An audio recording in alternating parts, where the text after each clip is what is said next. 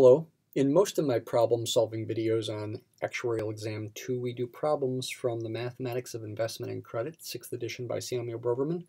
But as happened in Chapter 1, I found the content here now at the end of Chapter 2 to be kind of uh, sparse as far as problem sets related to continuous annuities. So I'm once again going back now to the book by Kellison, The Theory of Interest, 2nd edition, to look for problems in there. There are more problems to choose from related to continuous annuities in that book.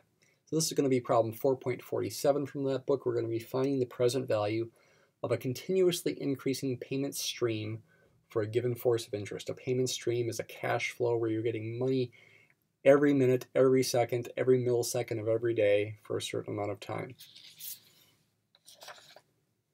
Problem statement, as you can see, is very short you might stop and think about what this perhaps what this means if you've never seen it before. The A stands for a present value. The infinity stands for the fact that this is going to be some sort of perpetuity. The I stands for the fact that it will be increasing. And the bars, if you've never seen those before above the I and the A, mean it's a continuous payment stream in this case. I want to take the opportunity before we solve the problem to think more generally about what's going on with continuous payment streams. So let's imagine a timeline here, and let's go ahead and take a a finite amount of time from 0 to n here initially. Ultimately, we're going to let n go to infinity. And let's imagine we've got some function here. It doesn't have to be constant. It doesn't have to be increasing. That is representing the payment stream, cash flow. It's really a rate of money flow might be the most descriptive way of saying what it means. It's important to think about the units for such a thing it would be in an amount of money per unit time. So for example, this could be dollars per year or euros per month or yen per day. There are lots of different kinds of things this could represent. Um, to, before we think about the time value of money and the present value in such a situation, let's just think about what h of t itself means without thinking about time value of money. Imagine a particular moment in time t, and imagine an infinitesimally small amount of time goes by. Really, really tiny. Now, what is an infinitesimal? Well, in the standard real number system, there is no such thing as an infinitesimally small number. There's something called non-standard analysis where such numbers do exist, but most people only think about ordinary standard real numbers, and the idea of an infinitesimal is just a convenient fiction to help you get to the right answer as quickly as possible, and it does provide some intuition. If you think of this as a tiny a positive amount of time, and this is an amount of money per unit of time, the product h of t times dt then represents the actual amount of money that flows during this tiny interval of time. This would be an amount of money that flows from time t to time t plus dt. Um, it's so we're treating that as if it's a multiplication, but ultimately this is something we integrate. Before we integrate, though, we want to think about uh, present value now. What would the present value of this money amount of money be? This is really a nominal amount of money in name only. It's the dollar amount, for example, during this particular amount of time.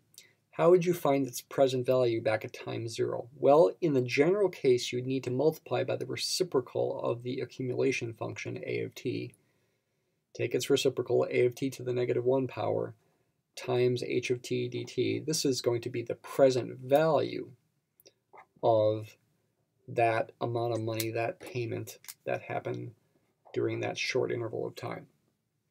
To find the overall present value then of the entire income stream, the total present value, you might say you need to integrate this from 0 to n.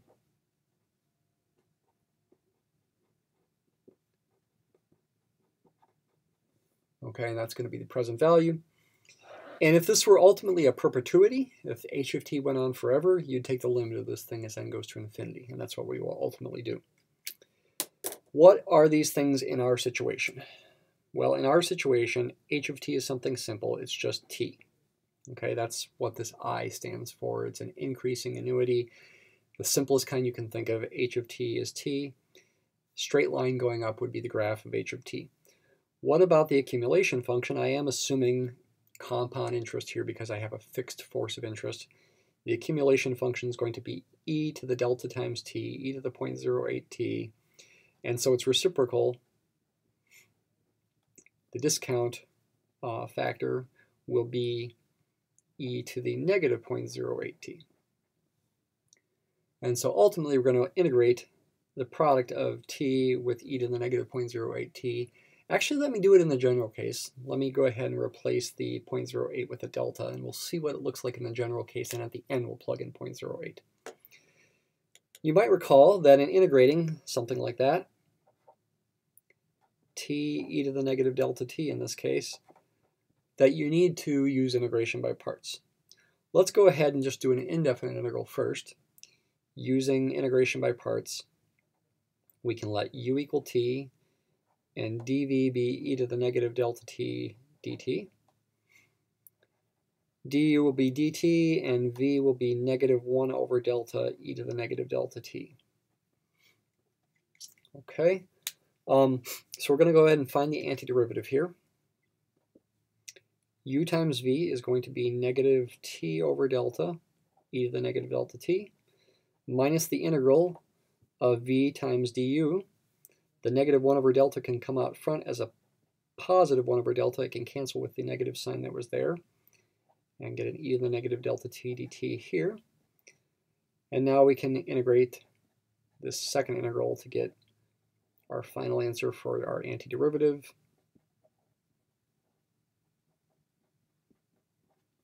Like that.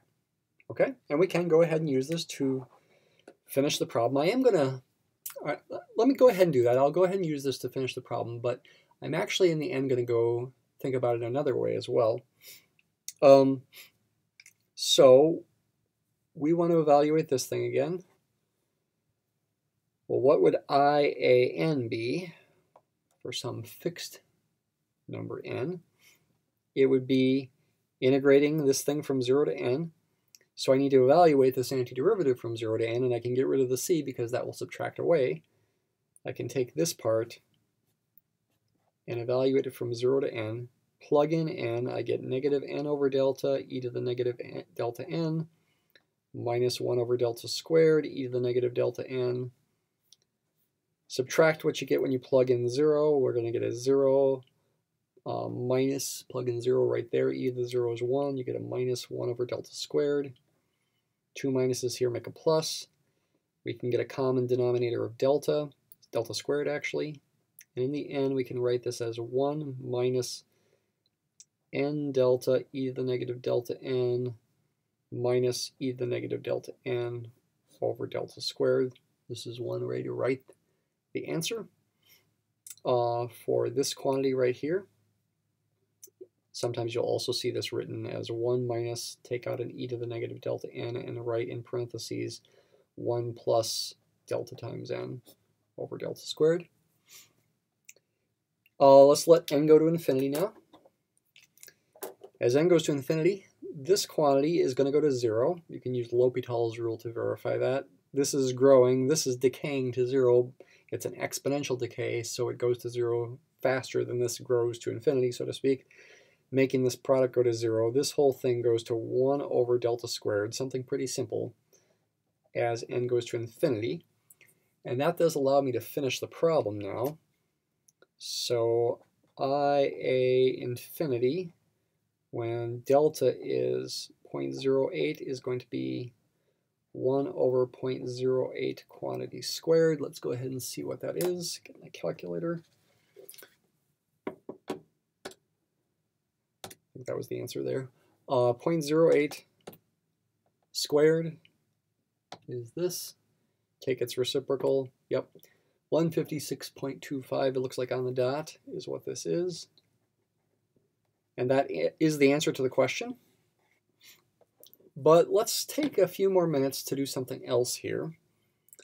Um, let me once let me go back to the integral, and let's go ahead and think of this integral as a, um, a definite integral this time. And let's go ahead and use integration by parts again with the same u and dv as before.